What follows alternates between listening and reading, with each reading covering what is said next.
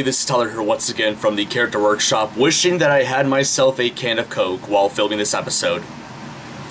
So, I was planning on talking about this um, earlier in the season, but now I am finally going to be talking about what I would personally consider one of the more influential Flash animations of the internet. And I am of course talking about Eddsworld. So, as you all may know, Eddsworld is a British adult animated comedy web series uh, that consists of a variety of different um, mediums. Uh, one of the most notable examples are the Flash animations, which have been uploaded most notably on Newgrounds and YouTube. And then there have also been comics based on the series that have been uploaded on websites such as DeviantArt and Tumblr and uh, browser games, which is mostly uploaded on, well, Newgrounds and Eddsworld's own website. But in this video, uh, most of the things I'm going to be talking about relate to the web series, but without further ado, let's get right to it. So the series first premiered online sometime between either 2003 or 2004, created by a guy by the name of Edd Gould, who, at the time that this series was made, he was probably either 15 or 16. So, Eddsworld got its, you know, first run through on Newgrounds, and then eventually, um, around 2006, episodes of the series started to be uploaded onto YouTube, so... And eventually, as the years go by, the series would become more and more popular, and it would eventually become popular to the point where um, the organizers of the 2009 United Nations Climate Change Conference requested them to make an episode about climate change that was used in the opening ceremony of the conference. So, Eddsworld was um, was quite big during its time, and of course, many years afterwards. Now, the main characters of Eddsworld are all loosely based on the people that they're voiced by. Like, uh, the first main character, for an example, Ed, obviously being based on and voiced by the creator of the show, Edd Gould, who wears a green parka and is well known for having an interest in Coke. And then we have Tom, who is loosely based on and voiced by Thomas Ridgewell. And one of the most noticeable things about Tom is the fact that he has no eyeballs. Like, he just has big old black eyes. And the characters have made, you know, several references to this. Um, the comics have also made references to this. And apparently, according to one of the episodes, uh, Tom's parents were a pineapple and a bowling ball, which I guess the pineapple is where he got his spiky hair, and the bowling ball is where he got his big eyes. Maybe that's why he doesn't have eyes. I don't know. They don't. They don't explicitly say that that's the reason, but it could be a possibility. And he's also well known as being arguably the comic relief of the show. A lot of the jokes from the show often come from him. Um, and he also, just like how Ed has this interest in Coke, uh, Tom has quite an interest in Smirnoff and music instruments. And then we get to Matt, who is loosely based on and voiced by Matt Hargreaves. Hargreaves. I wonder if he's related to uh, Roger and Adam Hargreaves, the people behind the Mr. Men and Little Misses. Uh, probably not. But anyways, uh, in terms of Matt, he's basically the self-centered character. Uh, a lot of his jokes often come from him admiring himself. In fact, one running gag throughout the entire series is whenever an object's about to be thrown at the characters, uh, Matt would normally scream, "Not my face!" And in terms of appearance, he has um, spiky blonde hair and wears a green coat with a purple hoodie underneath it. And then we get to the fourth main character of the show, Tord, who is loosely based on and voiced by Tord Larsson. And he basically has light brown spiky hair and wears a red parka, and is also well known for having a huge interest in causing violence just for the fun of it.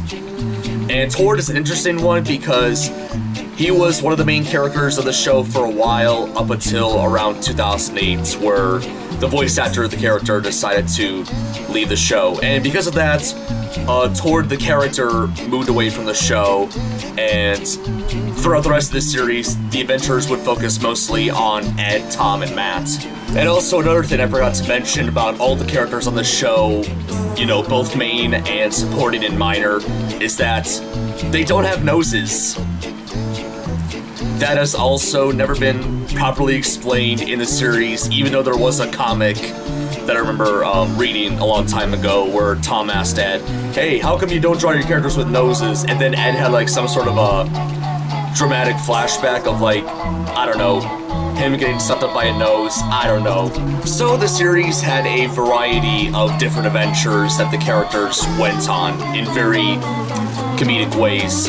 Like, uh, a lot of the Halloween specials of the show had the characters um, facing off against zombies. One of them had Matt turning into a vampire. The other one had the four main characters running away from a serial killer. The list goes on. And then the show also had a variety of Christmas specials. Uh, one of the most noticeable ones being the uh, the Zanta Claws trilogy, where a zombie Santa Claus by the name of Zanta Claws. Get it? Because, like, the S in Santa is a Z instead, and zombie starts with Z. Anyways, but that whole trilogy focused on them trying to stop Zanta Claws from ruining Christmas.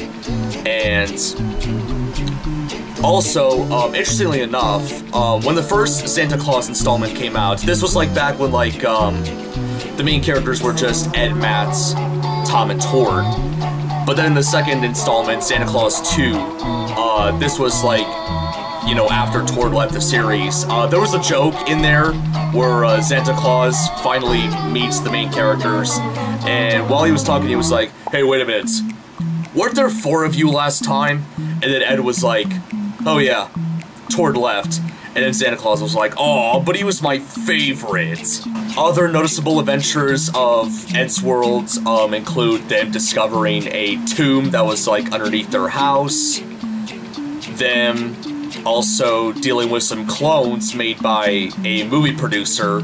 Um, and the plot of this one was the four main characters went to see a movie and they were the only characters that went to see the movies. The director decided to make clones of all four of them so that his movies would become more popular. And yeah, that definitely led to some problems with the main characters. Other adventures include moving targets, where the characters had to join the army, 25 feet under the seats, which is an obvious parody of 20,000 Leagues Under the Sea, where Ed, Tom, and Matt basically discovered an underwater kingdom underneath their seats. WT Future, where Ed, Tom, and Matt meet a future version of Ed. The show was a huge success for Edd Gould, and around the time when the series was um, at its height, uh, his channel had the most subscribers out of anybody in the comedy category in the UK, and was also the fourth most viewed uh, comedian in the UK. And I already mentioned earlier in the review about the uh, 2009 United Nations thing, so yeah, Eddsworld was quite a huge success. However, unfortunately, around March 25th, 2012, Edd Gould unfortunately passed away due to leukemia. So, in his will, Thomas Ridgewell, the voice of Tom, took over the series between 2012 to 2016, uh, being the main writer and director for the rest of the episodes, with the animation being provided by another friend of theirs, Paul ter Voorde.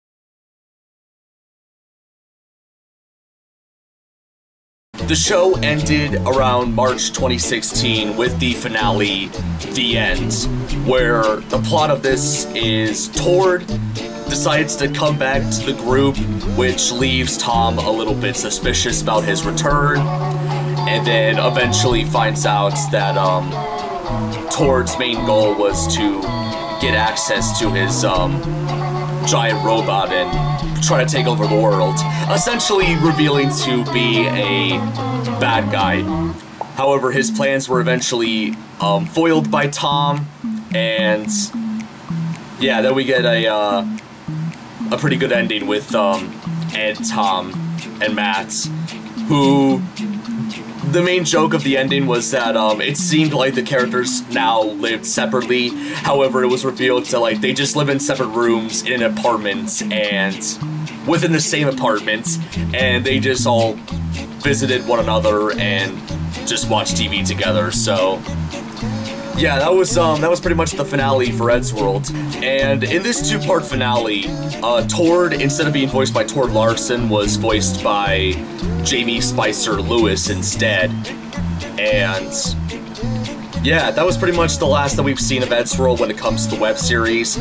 Uh, Tom later announced the day after the episode premiered that um, he was given the rights to Eddsworld back to Edd Gould's family. And on topic of the finale, I did remember seeing a video a little while ago by um, a YouTuber, I forgot his name, but he was talking about the finale and how he thought it was honestly kind of a disappointment that, like, uh, for example, he would have uh, liked to see Tord have some sort of um, redemption arc, um, getting, gain his trust back from the rest of the main characters, and then we would have had like all four of the main characters at the very end, which, um, by that reason alone, I think it would have made the finale a little bit better, but, um, unfortunately nothing we can really do about it now.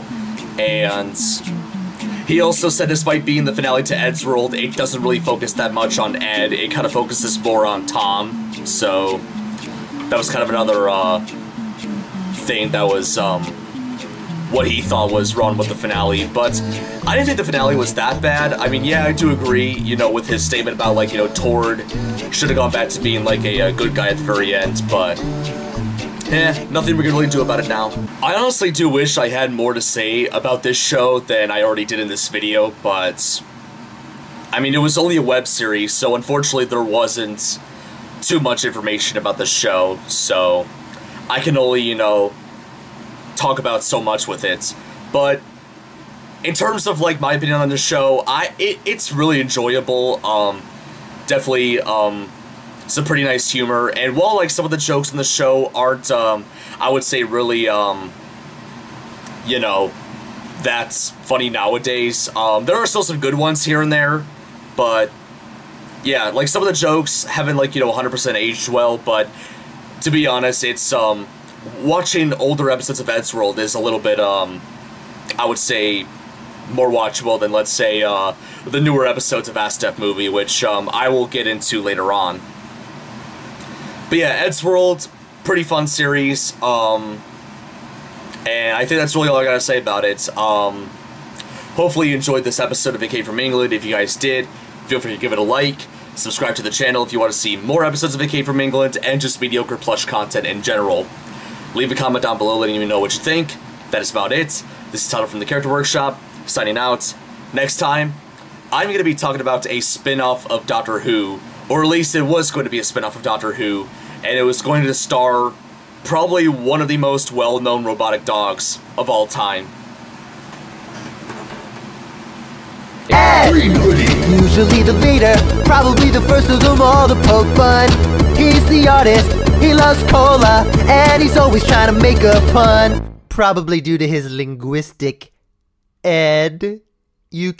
That's terrible.